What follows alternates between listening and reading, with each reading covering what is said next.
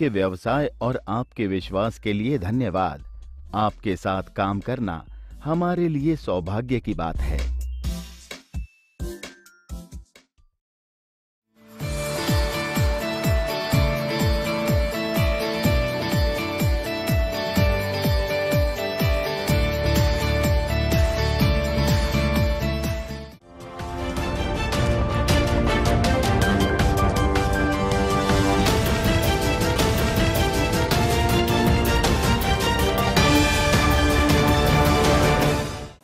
নমস্কার। আমার বাংলা সংবাদে আমি সারথি আপনাদের স্বাগত জানাচ্ছি। প্রথমে সংবাদ শিরোনাম। রাজ্যে নিয়োগ প্রক্রিয়ায় বাঙালিদের বঞ্চনা বরদাস্ত নয়, ফের সড়ক ভিড়িয়ে।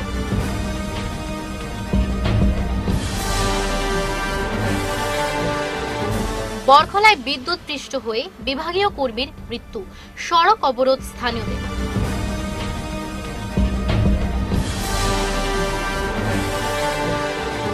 বিভিন্ন কর্মসূচিতে শ্রমিক দিবস পালিত স্যান্ট ক্যাপিটেনিও স্কুলে কর্মী সংবর্ধনা।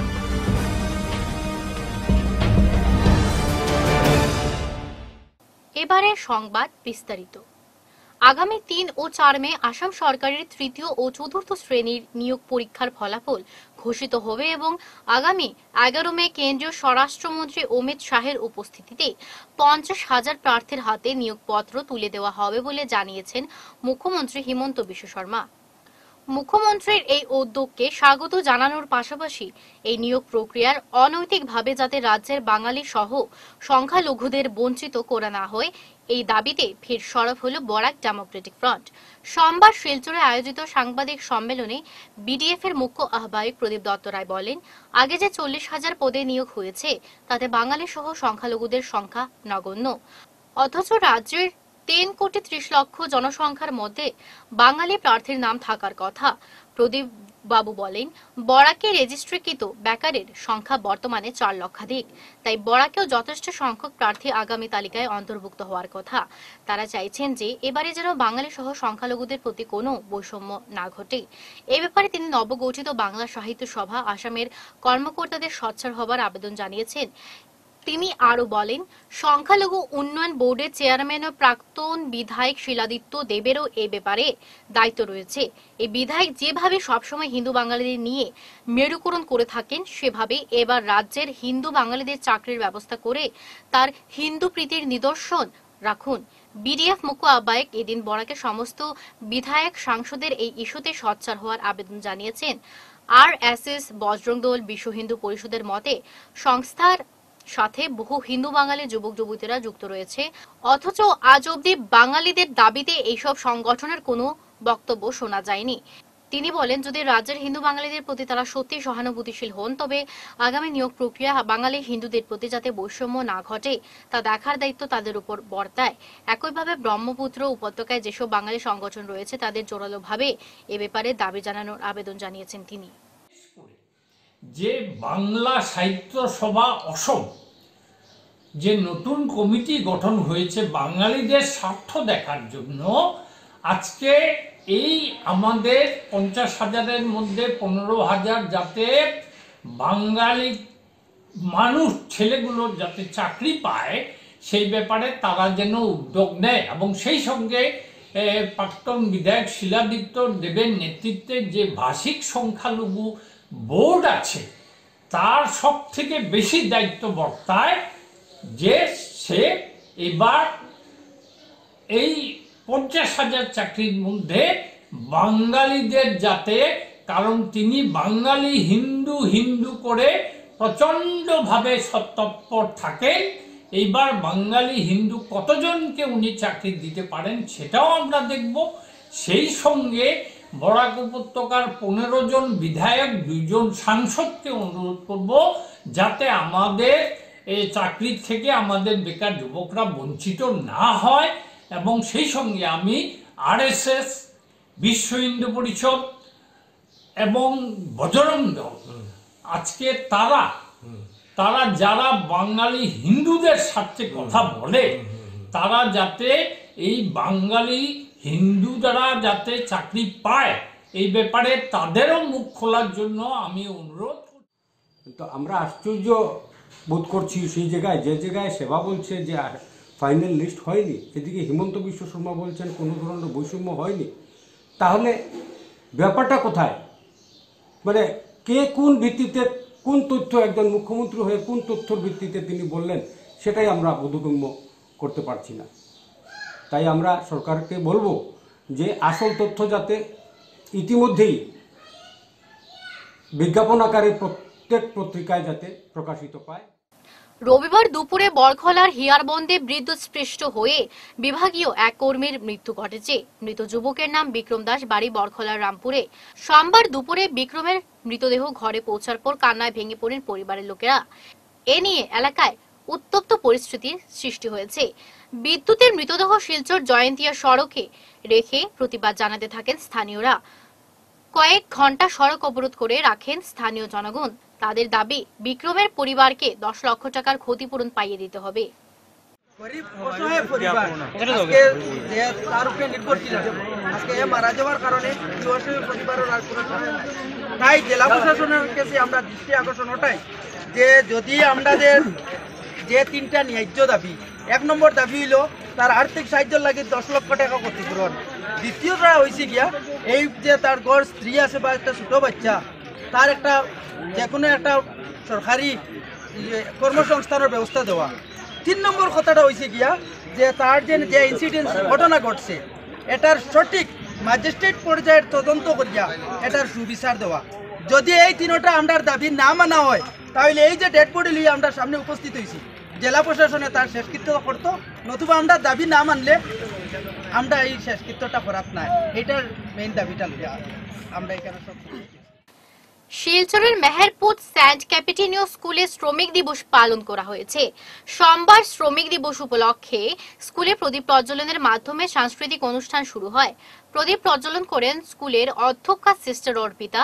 পরে সাংস্কৃতিক অনুষ্ঠানে নৃত্য সংগীত পরিবেশন করেন স্কুলের ছাত্রছাত্রীরা। অনুষ্ঠানে শ্রমিক দিবসের তাৎপর্য নিয়ে বক্তব্য রাখেন স্কুল ম্যানেজার সিস্টার রোজেটা, শিক্ষিকা রাধারানী মোদক ও শিক্ষক সুব্রত দেব। এদিন গাড়ি চালক, পাহারাদার চতুর্থ শ্রেণির কর্মীদের সংবর্ধনা জানানো হয়েছে।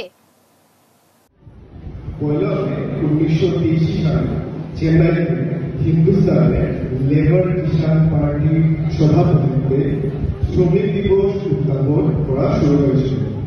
এই দিনটি মূল উদ্দেশ্য হল সারা বিশ্বে শ্রমিকদের প্রতি সম্মান প্রদর্শন করা, তাদের অর্জন উদযাপন করা তাদের অধিকারের জন্য তাদের আওয়াজ তোলা এবং সেই ইউনিয়নকে শক্তিশালী করা। আন্তর্জাতিক শ্রম দিবস হল শ্রমিকদের অর্জন এবং দেশের উন্নয়নে তাদের অবদানকে অভিনন্দন জানানোর একটি বিশেষ আজকে এই দিনে আমাদের সেন্ট ক্যাথিড্রাল স্কুলের পাশে দারোয়ান দাদা, বাস ড্রাইভার দাদা, লালবাবু দাদা। সকলকে জানাই আমার আন্তরিক শুভেচ্ছা ও ভালোবাসা। ধন্যবাদ। শিলচরের অন্যতম স্বেচ্ছাসেবী সংগঠন বেঙ্গলি ফরওয়ার্ড ক্লাব দীর্ঘ বছর থেকে এই অঞ্চলের সামাজিক কাজকর্মে অগ্রণী ভূমিকা পালন করে আসছে। প্রতি মাসে বেঙ্গলি ফরওয়ার্ড ক্লাব বিভিন্ন সামাজিক কর্মসূচি পালন করে। এরই পরিপ্রেক্ষিতে রবিবার বিকেলে ক্লাবের সাধারণ সম্পাদক বিশ্বজিৎ দেব সভাপতি সুশীল কুমার করের নেতৃত্বে এক প্রতিনিধি দল শিলকুড়ির আশায় হোপ এনজিওর অধীনে থাকা নেশামুক্তি ও পুনর্বাসন কেন্দ্রে গিয়ে আবাসিকদের খোঁজ খবর নেন। এদিন ক্লাবের পক্ষ থেকে চিকিৎসারত আবাসিকদের মধ্যে পুষ্টিকর খাদ্য বিতরণ করা হয়।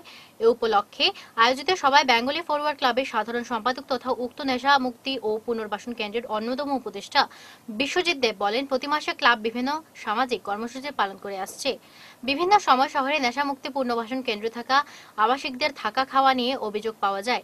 এ ব্যাপারে এই কেন্দ্রের কর্মকর্তাদের সঙ্গে আলোচনা করে পরিচালনা করা হয়েছে। এর জন্য কেন্দ্রের পরিচালনা কমিটির কর্তৃপক্ষকে ধন্যবাদ জানানো হয়েছে। অন্যান্যদের মধ্যে উপস্থিত ছিলেন ক্লাবের সহসভাপতি সুবীর দেব, দেবাশিস পুরকাইস্ত, দীপ দেব, নবজিৎ পাল, কালীপূজা কমিটির সভাপতি মনোদোষ পাল, নিতু বণিক, সাধারণ সম্পাদক জয়দীপ দেব, আইনি উপদেষ্টা সুব্রত ভট্টাচার্য। এবং দেখতে পেরেছি, ওদের এখানকার সিস্টেম অনেক ভালো লেগেছে, ওদের সিস্টেম দেখে ওদের প্রত্যেক পেশেন্টের জন্য আলাদা আলাদা চকির ব্যবস্থা করেছে। ওদের সেন্টারের যে রুমটা ছিল, বিশাল রুম পেশেন্ট অনু, অনুযায়ী অনেক বড় রুম ছিল, আলাদা আলাদা সেপারেট তিন চারটা বাথরুম দেখেছি। ওদের সাথে কথা বলেছি খাওয়ার ব্যাপার নিয়ে, খাওয়ার ব্যাপারটাও আমরা দেখেছি। অনেক ভালো খানি দিচ্ছে, পুষ্টিকর খানি দিচ্ছে। তাই আমরা বেঙ্গলি ফরওয়ার্ড ক্লাবের পক্ষ থেকে আমরা সন্তুষ্ট। আমাদের, ওদের এই কাজ দেখে ওদের, ওদেরকে অনেক ধন্যবাদ। ওরা এইভাবে সমাজের জন্য এতটুকু কাজ করে যাচ্ছে। আমরা প্রত্যেক বছরেই Bengali forward club, Kali Puja কমিটির তরফ থেকে আমরা কিছু কাজ করে থাকি, সামাজিক কিছু কাজ করে থাকি। তার মধ্যে আমাদের এই একটা কাজ হচ্ছে Bengali forward club, Kali Puja কমিটির এই একটা সামাজিক কাজ। করিমগঞ্জ শহরে ই রিক্সা চলাচলের বেঁধে দেওয়া নিয়ম নীতির উপরে জেলা প্রশাসনের বিরোধিতা করলেন বিধায়ক কমলাক্ষ দে পুরকাইস্ত গত আঠাশ এপ্রিল করিমগঞ্জ জেলাশাসক কার্যালয়ের কনফারেন্স হলে শহরের যানজট নিরসনের জন্য এক সভার মাধ্যমে সিদ্ধান্ত নেওয়া হয়েছিল। শহরের ই রিক্সাগুলো জোর বেজোর নম্বরের মাধ্যমে চলাচল করবে এবং এক মে জেলা প্রশাসনের পক্ষ থেকে অভিযান চালানো হবে। সোমবার করিমগঞ্জ সার্কিট হাউসে এক সংবাদ মেলের আয়োজন করে বিধায়ক কমলাক্ষ দে পুরকাইস্ত জেলা প্রশাসন বিজেপি সরকারের প্রতি ক্ষোভ প্রকাশ করেন বিধায়ক। তিনি বলেন, কেন্দ্রীয় সরকার যখন ই রিক্সা চলাচলের উপর জোর দিচ্ছে, তখন আসাম সরকারের পরিবহন বিভাগ চারশো ডিলার লাইসেন্সের পারমিশন দিচ্ছে। সেই সময় ই রিক্সা চলাচলের কোনো ধরনের পারমিশনের প্রয়োজন নেই বলে মন্তব্য করেন বিধায়ক। অন্যদিকে সরকারের চাকুরি থেকে বঞ্চিতরা শহরের টুকটুক ই রিক্সা চালিয়ে নিজেদের পরিবারের লোকেদের মুখে আহার তুলে দিচ্ছেন। অন্যদিকে বিভিন্ন বিধিনিষেধ দিয়ে ই রিক্সা চালকদের পরিবারের চুলা বন্ধ করে দিতে চাইছে করিমগঞ্জ জেলা প্রশাসন ও বিজেপি সরকার। ই রিক্সা চালকদের মাসের পনেরো দিন খাবার কি জেলা প্রশাসন ও বিজেপি চালিত সরকার কি দায়িত্ব নেবে? বিধায়ক আরও বলেন, যাদের ভোটে সরকার গঠন হলো তাদের উপর খর্বহস্ত হয়ে পেছে লাভ দেওয়া কি কল্যাণকামী সরকারের কাজ? ইভেন নাম্বার করলেন। ওয়ার্ড ইভেন নাম্বার নাম্বার করে একটা ছেলে, চাকরি নেই, সে বিএ পাস করল, করে দেখল যে স্যার, চাই চাকরি নেই। আমি কী করব?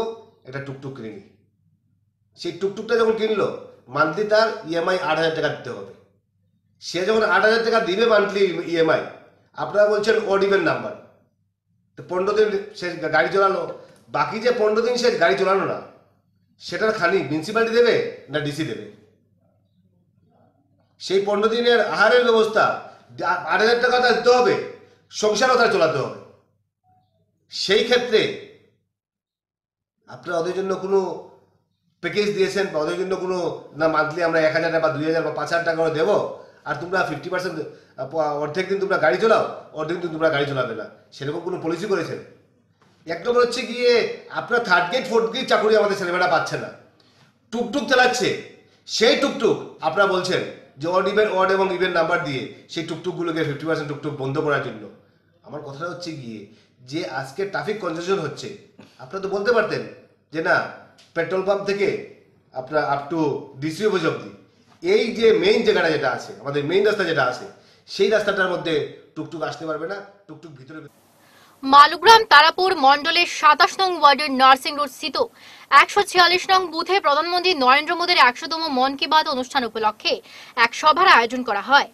ভক্তি সেন তালুকদারের সভাপতিত্বে অনুষ্ঠিত সভায় দলীয় কর্মচারীদের উপচে পড়া ভিড় পরিলক্ষিত হয়েছে। সভায় প্রধানমন্ত্রীর মূল্যবান ভাষণ শোনার পাশাপাশি বুথের কর্মকর্তারা বিভিন্ন বিষয় নিয়ে নিজেদের মতামত ব্যক্ত করেন। সভায় জয়দীপ রায়, কৃষ্ণপদ তালুকদার, অমিতাভ ভট্টাচার্য, সজল চৌধুরী সহ অন্যান্যরা উপস্থিত ছিলেন। সর্বশেষে জাতীয় সঙ্গীতের মাধ্যমে অনুষ্ঠানের সমাপ্তি ঘোষণা করা হয়। নূপুর নৃত্য কেন্দ্রের তেইশতম বর্ষপূর্তি। নৃত্য অঙ্কন প্রতিযোগিতা আয়োজিত হল রবিবার। এদিন সকাল সাড়ে নটায় সংস্থার পতাকা উত্তোলনের মধ্যে দিয়ে সূচনা হয়। অনুষ্ঠানের প্রথমে ছিল রবীন্দ্র লোকনৃত্য প্রতিযোগিতা। উদারবন ব্লক অডিটোরিয়াম হলে আয়োজিত ওই প্রতিযোগিতায় বরাক উপত্যকার বিভিন্ন প্রান্ত থেকে বাহাত্তর জনের মতো প্রতিযোগী অংশ নিয়েছেন। এতে ছিল ছয়টি বিভাগ। এদিন নৃত্য অঙ্কন প্রতিযোগিতার বিচারকদের ভূমিকায় ছিলেন সুদর্শনা চক্রবর্তী গৌর শঙ্কর নাথ। শেষে বিকেলে বিজয়ীদের হাতে পুরস্কার তুলে দেন সূর্যকুমার শর্মা, বাবুল সিকদার, গৌর শঙ্কর নাথ বাসব রঞ্জন দাস প্রমুখ। আজকে এই অনুষ্ঠান এটা যেন যুগের পরে যুগ, এইভাবে মিথ্যা সেন এবং মিথ্যার গোবিন্দ মাঠ, হাত ধরে আরও অনেক দূর এগিয়ে যায়, এটা আমরা সবসময় চাইব। চাওয়ার মূলত একটাই কারণ, সেটা হলো এদের যে শ্রম, এদের যে মানসিক আকাঙ্ক্ষা এবং বিশেষ করে এই যে নৃত্য বিদ্যালয়টা একটা যেন ওর পরিবারের মতো।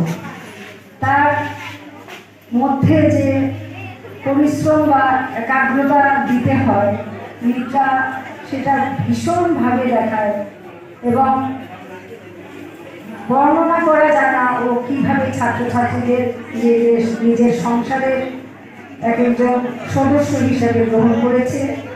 প্রত্যেকটি প্রত্যেকজন অভিভাবক এবং প্রত্যেকটি ছাত্রছাত্রীকে ও সবসময় যেন অত্যন্ত আপন করে, কাছে করে জেনে নেয়, এটা একটা শেখার মতো, এটা একটা দেখার মতো একটা অভিনব বিষয়। সোমবার করিমগঞ্জ জেলার বিভিন্ন স্থানে অগপর ভাতৃ সংগঠন কৃষক পরিষদের উদ্যোগে এক কৃষক সংযোগ সভার আয়োজন করা হয়েছে। ওই দিন দুপুর দুই ঘটিকায় বদরপুর সমষ্টি কৃষক পরিষদের সভাপতি রহিম আহমেদ চৌধুরীর সভাপতিত্বে ভাঙা কান্দিগ্রাম কুশিয়ারা স্কুলে এক কৃষক সংযোগ সভা অনুষ্ঠিত হয়েছে। উক্ত সভায় অগপর কেন্দ্রীয় কৃষক পরিষদের সভাপতি পরেশচন্দ্র বৈশ্য উপস্থিত ছিলেন। তিনি বক্তব্য দিতে গিয়ে বলেন, দেশকে উন্নতির দিকে নিয়ে যেতে প্রধান ভূমিকাই হলো কৃষকদের।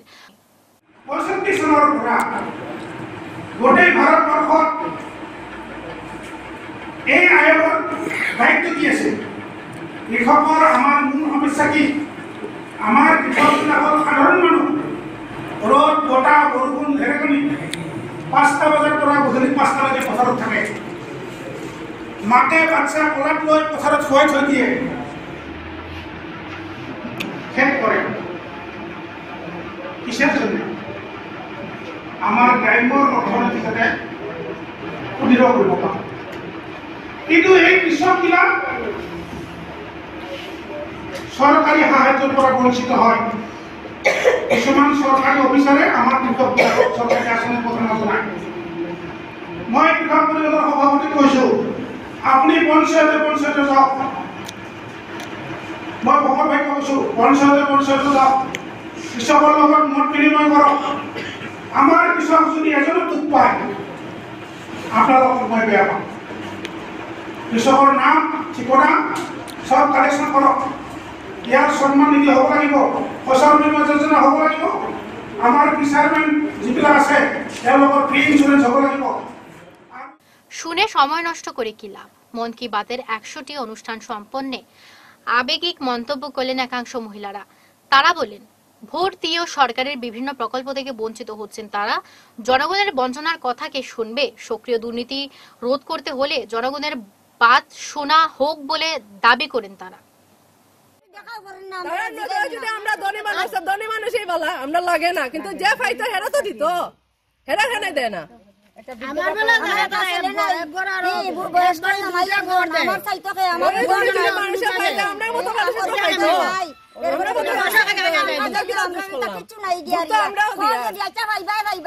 আবার তো ইলেকশন আর দুই হাজার চব্বিশে আবার নির্বাচন আর তো আপনার কি আপনার নেক্সটের চিন্তাধারা?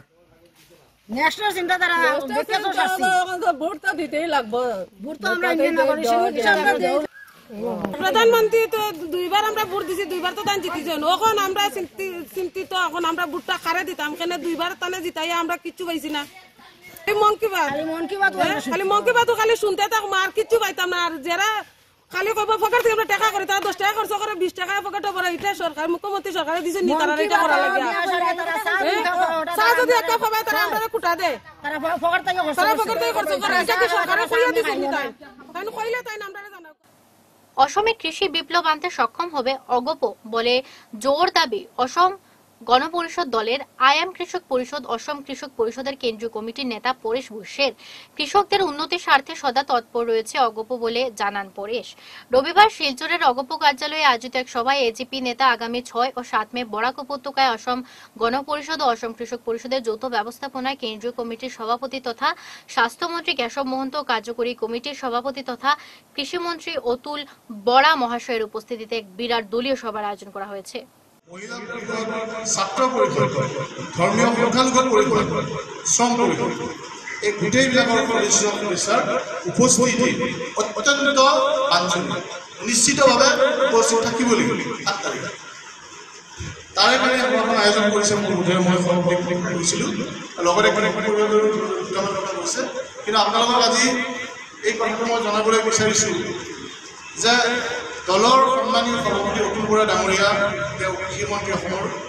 দলৰ কাৰ্যকৰী সভাপতি কেশৱ মহন্ত ডাঙৰীয়া তেওঁ স্বাস্থ্যমন্ত্ৰী অসমৰ। এই দুয়োগৰাকী মন্ত্ৰীৰ লগত আমাৰ দলৰ কেইবাজনো সাধাৰণ সম্পাদক বিভিন্ন বিভাগৰ থকা চেয়াৰমেন বিধায়ক তেওঁলোক এম পি সাধাৰণ সম্পাদক বীৰেন বৈশ্য সকলোবিলাক ইয়াত আজি উপস্থিত হৈছে। অৰ্থাৎ ছয় আৰু সাত তাৰিখে বৰাক উপত্যকাত অসম গণ পৰিষদে ৰজনজনে আদি অসম গণ পৰিষদে সমগ্ৰ বৰাক প্ৰমাণ কৰি দেখিব ছয় সাত ইয়াত কোনো দল নাথাকে ছয় সাত তাৰিখে কেৱল এ জি পি হৈ যাব। তেনেকুৱা পৰিৱেশ আপোনালোকে ৰচনা শেষ করার আগে বিশেষ বিশেষ খবর আরও একবার।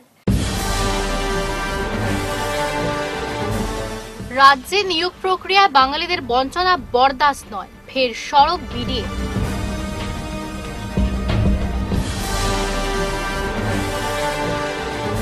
বরখলায় বিদ্যুৎ পৃষ্ঠ হয়ে বিভাগীয় কর্মীর মৃত্যু। সড়ক অবরোধ স্থানীয়দের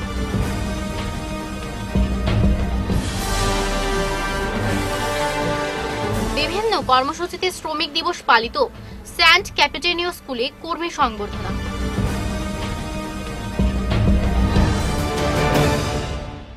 এখনকার মতো আমার বাংলা সংবাদ পর্যন্তই। নমস্কার।